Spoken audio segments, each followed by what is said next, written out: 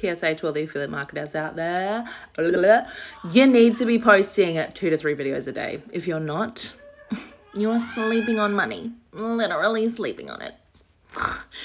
Goodbye.